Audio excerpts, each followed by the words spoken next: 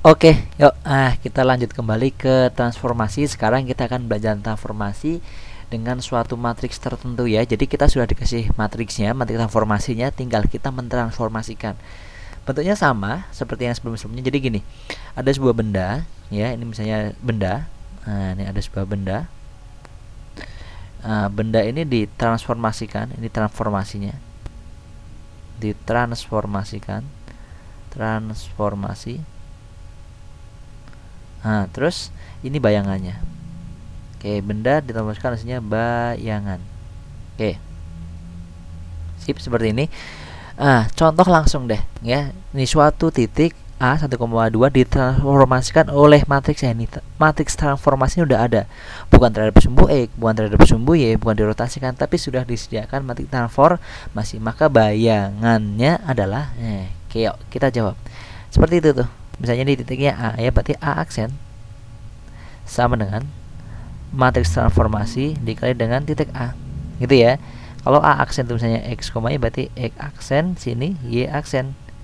Matriks transformasinya apa? Kita tulis aja dulu. Matriks transformasinya adalah 2 5 1 4 dikalikan titik A. Titik A nya apa 1,2 1,2 ah ini tinggal kalian kalikan. Yuk kita kalikan cara mengalikannya. Biasa seperti kalian matrik 2 kali 1 jadi du 2 ya. Ini kali ke sini.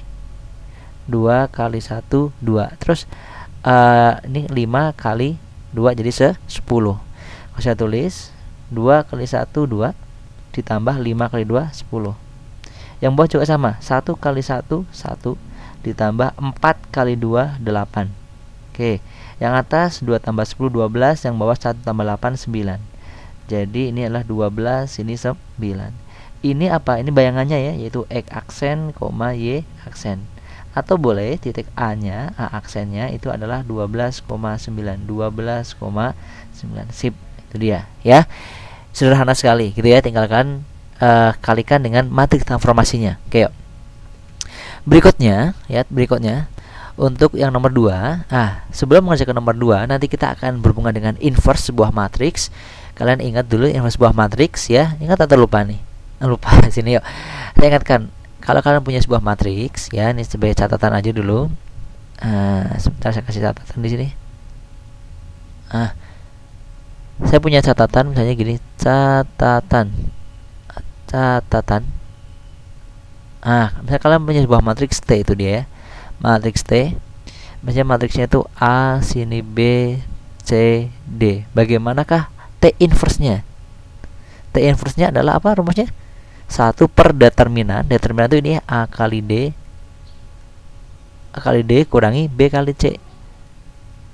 A, A kali D kurangi B kali C. Jadi dikali silang nih. A kali D dikurangi dengan B kali C gitu ya. Sip. Terus dikalikan dengan apa? Dikalikan dengan matriks itu tapi dibalik ya. AD ditukar nih jadi D sini A. Ah, B sama aja jadi min B sini min min C. Ah seperti itu. Contoh deh ya yang T ini yuk. T itu tadi T. Ah sama dengan 1 3 1 3 terus 1 2 seperti ini. Terus T inverse. T inverse itu jadinya 1 per AD AD nih A kali D. A nya 1 ya A kali D. A nya 1 D nya 2 1 kali 2 jadi 2 2 dikurangi. Terus BC ini ya BC berarti B kali C 3 kali 1 3 Nah seperti ini. Terus dikalikan dengan Ini maksudnya tukar tempat. AD tukar tempat. AD jadi D DA 1 2 jadi 2 1 Terus BC nya. BC nya kasih min ya. Ini min B min C. Berarti min 3 Sini min 1 Oke seperti itu. Oke. Terus berikutnya saya selesaikan dulu nih T pangkat min 1 atau T inverse 1 per 2 kurangi 3 jadi min 1 Ah seperti ini gitu ya. Oke yang sini 2 Sini min 3 Sini min 1 Sini 1 Oke 1 bagi min 1 berapa? Ah, ah pinter. Berapa? Min 1 Yuk sini yuk Ini 2 Min 3 Min 1 1 gitu ya. Yuk kalikan yuk ke dalam.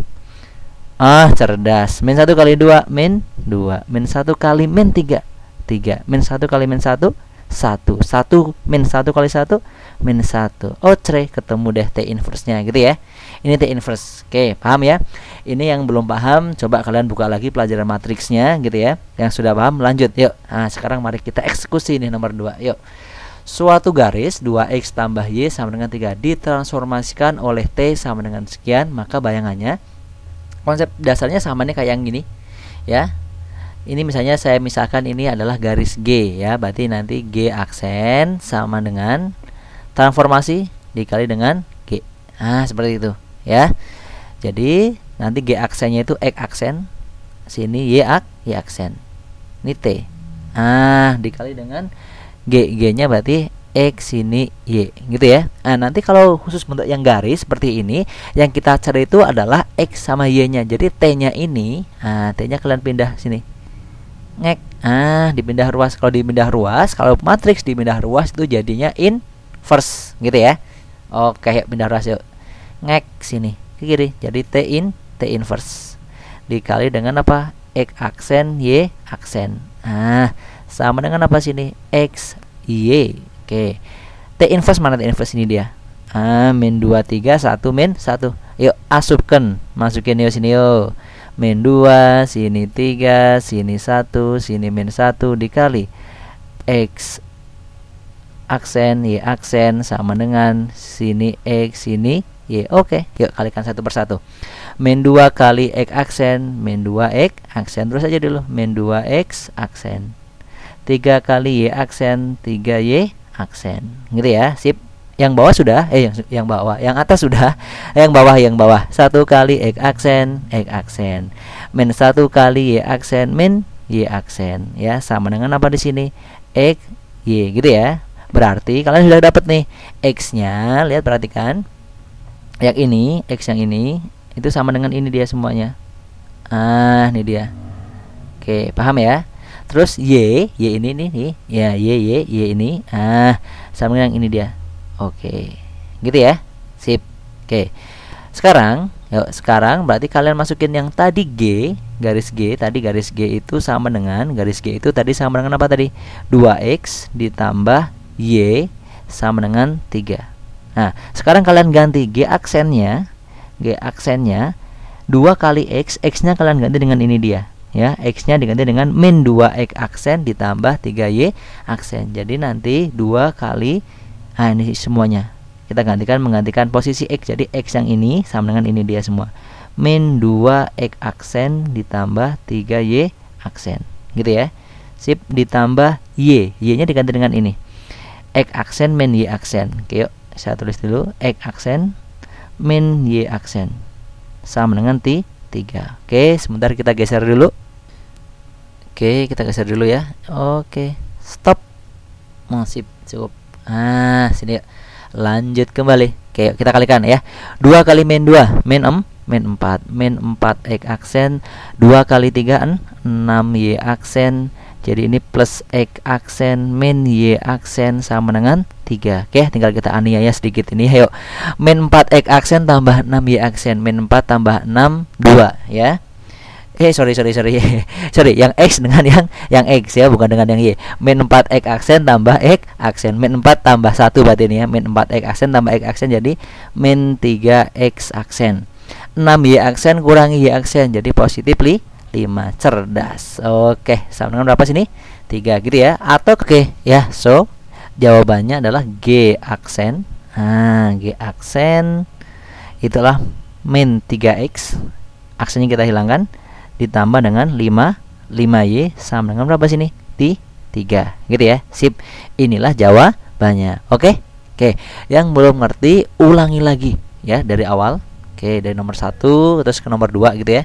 Oke. Semoga ngerti. Oke. Cukup enough.